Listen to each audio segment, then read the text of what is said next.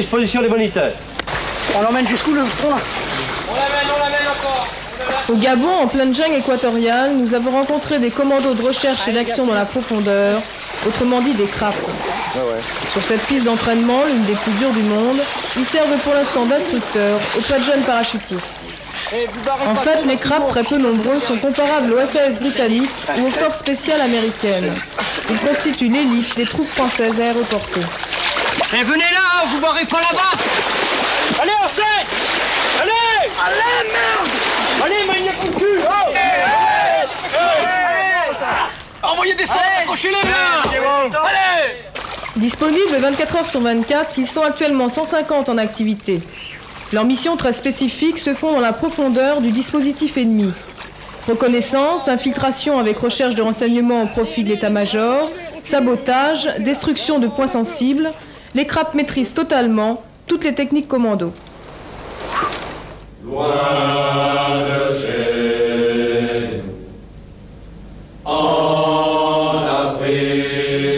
Pour la première fois, une équipe de télévision a pu entrer dans le monde très fermé de ces militaires hors du commun. Nous avons suivi 12 d'entre eux, au cours de leur propre formation, un stage de contre-guérilla et de survie en forêt. Certains ont préféré garder l'anonymat pour des raisons personnelles, nous avons respecté leurs désirs, deux visages resteront donc cachés. Je suis le lieutenant chef de section euh, CRAP, commando de recherche et d'action dans la profondeur au 3e RPIMA. Alors les missions qui nous sont dévolues sont de plusieurs types. Il y a des missions euh, de renseignement et on a des missions de type action. Ça peut être, euh, ça peut être des- délivrer des otages par exemple. C'est une action qui peut être euh, donnée au CRAP. En général, ça correspond toujours à une action euh, qui se situe, une action très brève, rapide, ponctuelle, euh, mais avec énormément de violence. Il n'y a pas droit à l'erreur dans ce genre de choses. la dernière fois que les crapes ont fait parler d'eux, c'était quand? Euh, Mauvaise question. À présent, vous rentrez dans la phase la plus importante de votre instruction ici, instruction spécifique jungle. Je vous souhaite un excellent départ. Mon capitaine, vous pouvez faire présenter les armes. Présentez. Homme Pour ce stage exceptionnel, le gouvernement gabonais a mis à la disposition des forces françaises une zone de forêt vierge. La mise en place de l'équipe se fait par parachutage. Tous militaires de carrière, les crapes sont recrutés parmi les meilleurs parachutistes. La sélection est très stricte. Ils sont tous passés par des tests physiques et psychologiques qui ont permis d'établir leur stabilité et leur aptitude à s'adapter aux circonstances les plus extrêmes. Une équipe crabe doit pouvoir passer partout. Spécialistes du franchissement, ils sont tous plongeurs, skieurs, alpinistes, capables d'escalader des falaises à très haut niveau, de manier des explosifs. Enfin, et c'est le principal, les crabes sont des chuteurs opérationnels, sorte de parachutistes de l'extrême qui, largués à la hauteur des avions de ligne, atterrissent en plein cœur du territoire ennemi. Lors d'opérations réelles, ils doivent échapper au radar. L'avion qui les largue suit alors à la trace un avion de ligne pour que sur son écran de contrôle, l'ennemi ne voit qu'un seul spot.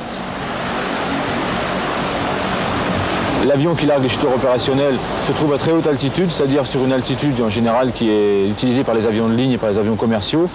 Euh, à partir de ce moment-là, euh, on peut partir à n'importe quel moment, on ne sera pas vu au radar. Chaque homme chargé lors du saut de 40 kg de matériel ouvrira son parachute au dernier moment.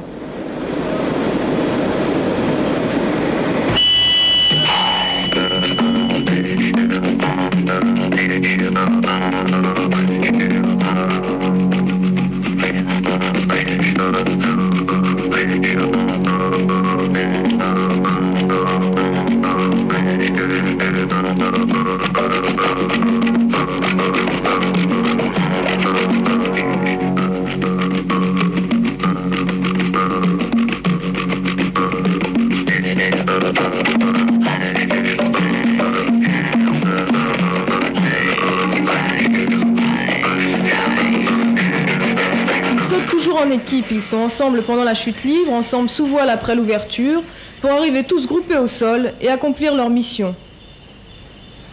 Premier jour du stage. Pour une semaine de jungle, nous ne disposons que du contenu de nos sacs. La nourriture, bien sûr, est interdite. À partir de la zone de posée, deux heures de marche nous séparent du lieu de rendez-vous, où la fouille minutieuse du matériel est un passage obligé pour tout le monde. Le capitaine Valin, responsable du stage commando au Gabon, passe tout en revue.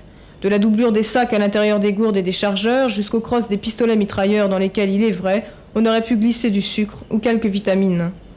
Pour le tabac, l'équipe ne joue pas le jeu. En effet, ce fumeur cache ses cigarettes à la barbe du capitaine. Déodorant très frais William. Eh, planque-le, il va l'enlever. Voilà, il, il faut faire un pastille par personne. Tandis que les autres ingurgitent avant le départ le maximum de nourriture, le spécialiste transmission de l'équipe embobine le capitaine. Son paquet de Marlboro échappera ainsi à la fouille.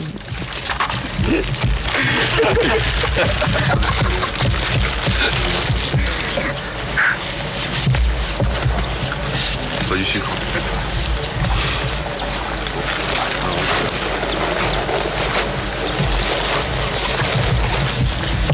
Il y a une espèce de, de courbe de niveau qui fait, qui fait comme ça là. On- pratiquement il faut la suivre. On a un gros talweg à passer. Et ensuite c'est ces espèces de lagunes qui sont, qui sont emmerdantes parce qu'elles sont, pleines de. de- c'est des marigots quoi qui sont autour.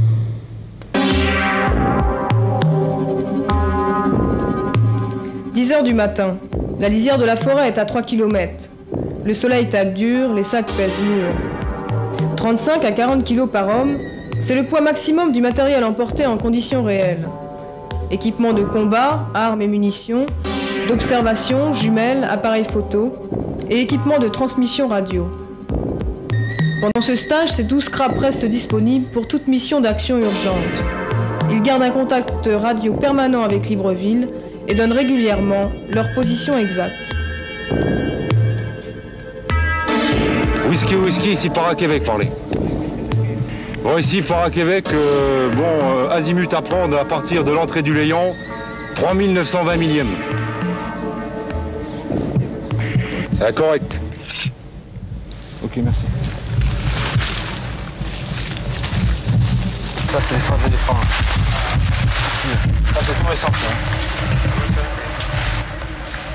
Bon, vous restez là, et vous restez là, je vais voir là-bas. Là. Je n'ai pas envie pour mettre mon petit sac. Tout à l'heure, on va tomber nez à nez avec un. On va se pointer, là, il va sortir la tronche. La forêt ici, c'est 40 degrés à l'ombre, 80% d'humidité. Nous profitons d'une trace récente faite par des éléphants pour pénétrer cette végétation qui se fait de plus en plus dense. Nous n'avançons que de 5 à 600 mètres par heure. Bon, si il y a un rayon euh, marqué, je vais le suivre, mais ça correspond pas à l'azimut. Hein. Eh, il n'y a pas de trou là Aujourd'hui, dans ce milieu insalubre, demain dans le désert ou dans les zones arctiques, ces hommes doivent savoir manœuvrer sur tous les terrains. Les missions qu'on leur confie les obligent à intervenir dans des endroits difficiles d'accès. Et ils ont beau être des spécialistes du franchissement, il leur faut s'accoutumer à ces environnements hostiles. En forêt équatoriale, la topographie n'est pas simple. L'érosion permanente du sol rend presque inutilisables les cartes, rapidement périmées. Nous progressons à la boussole parce qu'il nous est quasi impossible de repérer la direction du soleil. Pour garder l'azimut, nous devons traverser une zone de marigots. Nous nous enfonçons dans une vase puante et pleine de sangsues, tout en essayant tant bien que mal de protéger le matériel.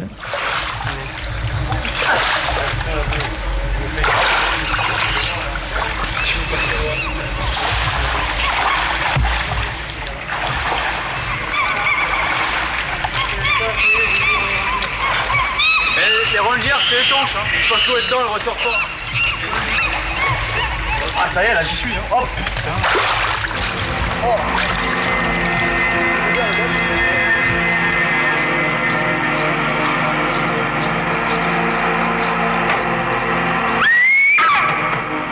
Après plusieurs heures dans ces conditions, deux hommes marchent en tête et balisent la piste à suivre pour le reste de l'équipe.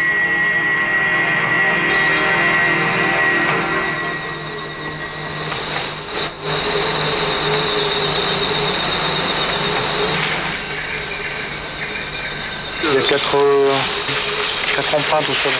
4 empreintes de doigts, je pense que c'est un félin.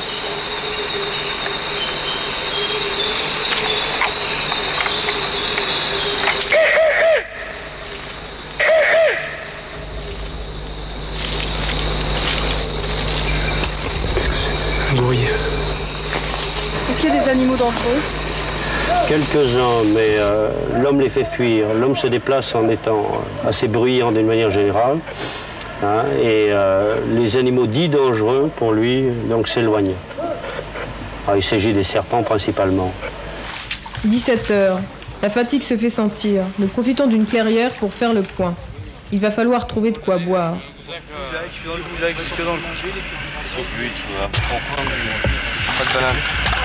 Mon sac, c'est une tonne. Ah putain, plus ça va, plus ça va et plus il est lourd. J'ai bougé le cul, moi. Ok, allez. En forêt, toutes les eaux stagnantes sont polluées, contaminées, parasitées par l'humus en putréfaction. Dans cette moisissure, trouver de l'eau potable tient presque de l'exploit. C'est pourtant une nécessité vitale. Les crapes, de par leur formation à la botanique, savent résoudre ce problème. Certaines lianes contiennent une quantité non négligeable d'eau minérale.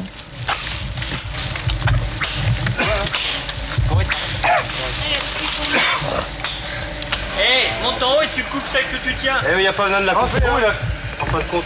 C'est Tarzan, euh, le Tarzan portugais. Attention. Sur la terre. C'est bon, pas plus? Putain, il pleut ici. Attends. Ouais, regarde. Là, est-ce qu'il faut souffler 18h30, ils installent le bivouac. Le nettoyage du sol avant de suspendre les hamacs évite les mauvaises rencontres au réveil. Serpents ou autres araignées aiment se glisser dans cette broussaille. Des racines qui ont l'air comestibles sont déterrées et préparées pour le dîner. Quelles que soient les circonstances, ces douze hommes utilisent avec automatisme tous les principes acquis lors de leur formation et agissent selon une organisation stricte. Les conditions de réussite d'une mission, c'est d'abord la survie, un endroit pour dormir et de quoi manger. Les racines grillées au feu se révèlent immangeables. La journée de demain sera donc consacrée à la chasse. Debout à l'aube, nous déjeunons d'un peu d'eau chaude. Après la journée d'hier, c'est un bien maigre festin. C'est donc dans l'imagination de chacun que le repas se déroule. Je vous rappelle qu'on ne parle pas la bouche pleine? J'aime bien, c'est le, le matin, c'est un petit peu de camembert avec le café. C'est pas pareil. Ce que je vais déjeuner, c'est que regarde. Des œufs au bacon, des yaourts, des fruits, des, des pains en raisin. Une série de croissants. Et chaque fois pareil, il faut pas dire euh, un petit. De casse Ouais, il est là, mais je l'ai pas besoin. Impeccable. C'est bon. On part chasser. Chasser, pêcher. On va aller direction la première lagune. On va mettre en place une ligne de, de fond. On est là pour 15 heures quand même, prenez le temps de faire cuire éventuellement si vous avez. si vous avez- A priori, on va trouver des, des canards, euh, peut-être des varans. Si tout va bien, des crocodiles. On va voir.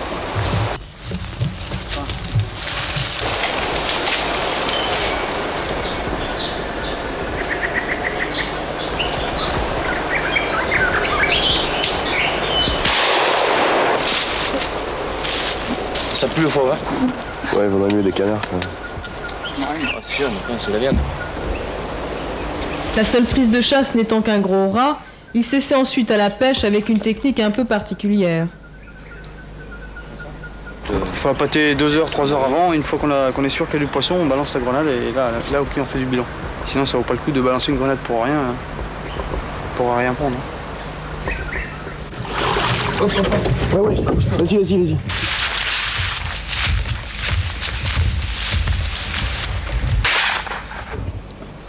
Ça, c'est des piments, toi, que j'ai fait tout à l'heure. ça. Celui-là avec les noix de coco euh, écrasées. là. Et du piment, il y en a un peu plus bas, là, des, des petits piments. Là. Ça va basculer Ouais. J'aurais mis de l'eau de mer, ça aurait été salé. Il laissé mijoter à feu de boue. Et voilà. Parmi eux, un infirmier est indispensable. Très qualifié, il sait improviser et peut effectuer des opérations chirurgicales dans les situations les plus précaires. Ouais, elle peut piquer celle-là, ouais. Moi, je peux te dire que là-dedans, il doit y avoir Une section comme, comme celle-ci, c'est quelque chose, quelque chose qui est très, très félin, qu'on manœuvre euh, de manière très, très, très, très aisée. quoi. Les gens peuvent travailler isolément, voire. Enfin, en général, ils travaillent par deux, mais ils peuvent travailler isolément sans aucun problème. Il y en a un qui est spécialiste en sport de combat, il y en a un qui est spécialiste en, tir et armement, euh, tout ce qui est armement étranger, etc., enfin armement léger.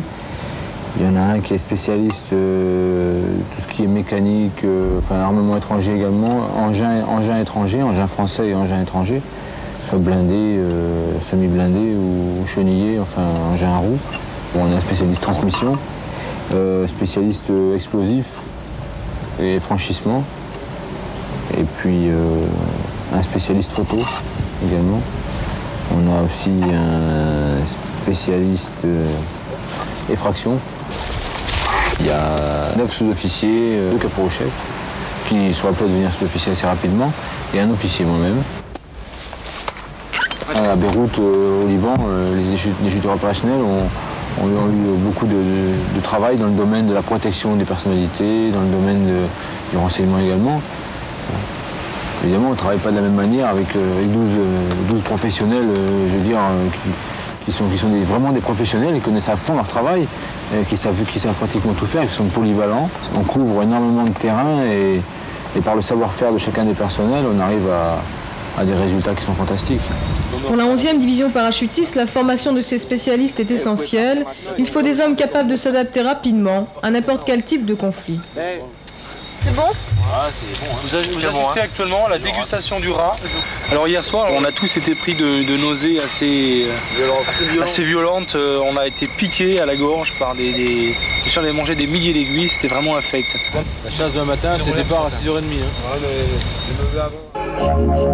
Le matin du troisième jour, chacun émerge tant bien que mal. Cette nuit, nous avons eu la visite de petits éléphants de forêt et nous ont tous réveillés en sursaut, passant tranquillement à quelques mètres du bivouac.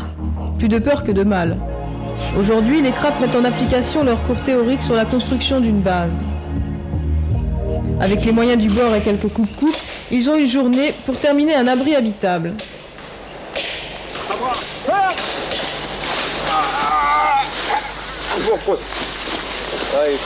hein. Et là, c'est un coup sur le côté, là, il tomberait pas.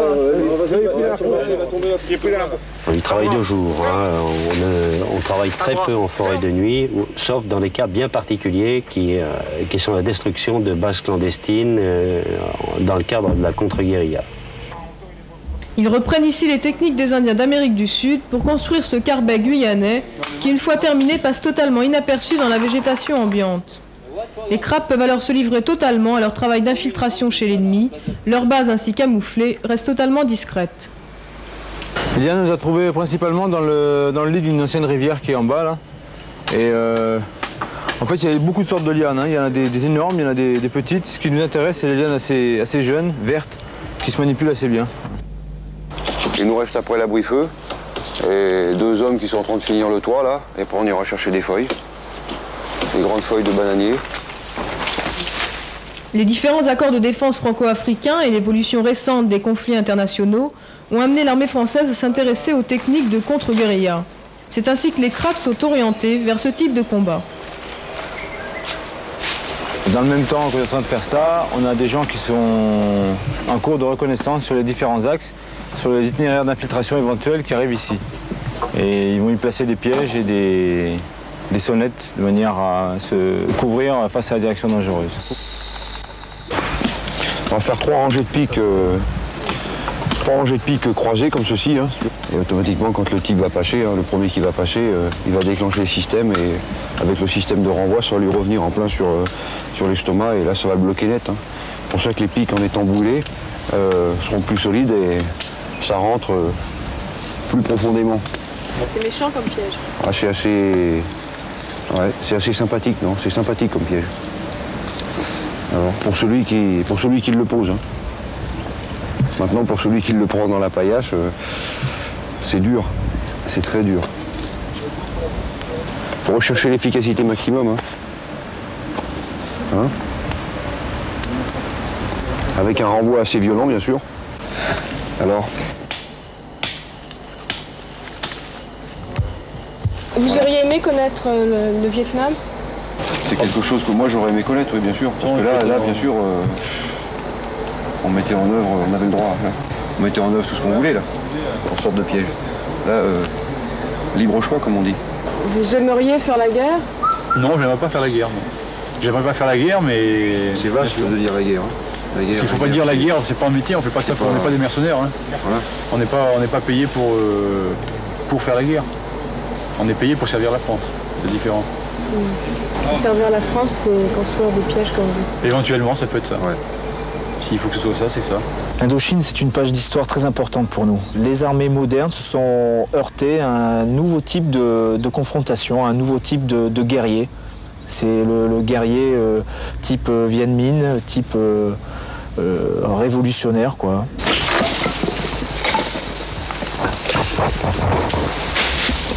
Maintenant, c'est encore et toujours d'actualité avec ce qui se passe en Amérique du Sud. Bon, un des exemples les plus connus euh, de guerrilleros, c'était Che Guevara. On sait ce qui lui est arrivé, donc il, y a, il existe des possibilités de combattre qui sont bien connues des Brésiliens et euh, qui sont bien connues également des, euh, des Colombiens, des, des Boliviens. Et je crois que les Américains s'y sont intéressés depuis quelques années et font également, mais uniquement pour leurs spécialistes, de l'instruction contre-guerrière. Dans le cadre de leur entraînement, les crapes ont reçu un ordre de mission localiser puis détruire une base fictive de guerrilleros située au nord-est de leur position de repli. Ils devront donc s'infiltrer dans le plus grand silence, observer l'ennemi discrètement avant d'attaquer par surprise. Pour communiquer avec les autres, chaque homme est équipé d'une sorte de takiwalkie très silencieux, un Motorola. Grâce au casque et à ce micro ultra sensible, le moindre chuchotement passe par les ondes.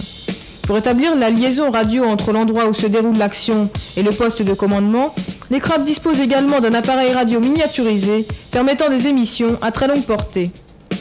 Pour que leur message ne soit pas capté par l'ennemi, la longueur d'onde change toutes les 3 secondes. Leur matériel d'observation est aussi des plus sophistiqués, jumelles à amplificateur de lumière et caméra thermique.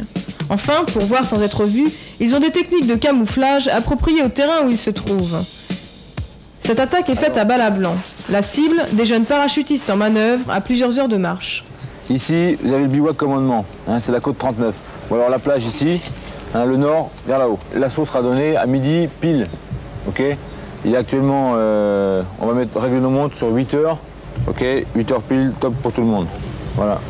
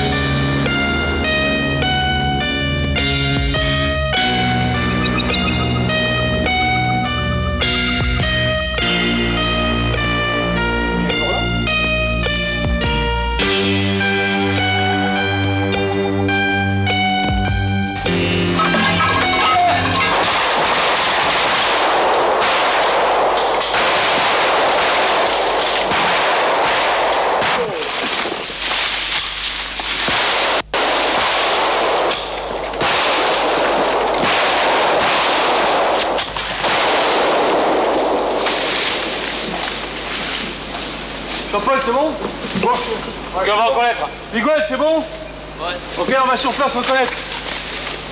On travaille sur une mission qui est bien établie au départ, sur, sur des renseignements qui sont bien précis. On sait que tel jour, à tel endroit, à telle heure, il y aura telle chose qu'il faut détruire. Voilà. Et on intervient pour une action comme ça. Ah, bravo Alpha de Charlie. L'équipe rejoint une zone de largage. Ils attendent un parachutage de matériel. Il n'y a pas de temps mort. Il faut qu'on fait quelque chose, c'est toujours quelque chose de très important sur le plan du résultat. Dans l'action, on donne toujours tout ce qu'on a. Il n'y a, pas de, a pas de réserve. Quatre passages.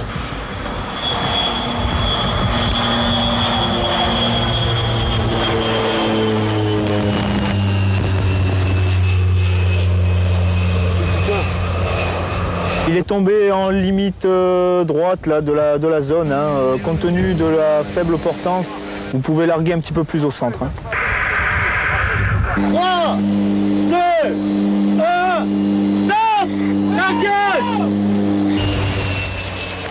La période d'activité d'un crabe est courte.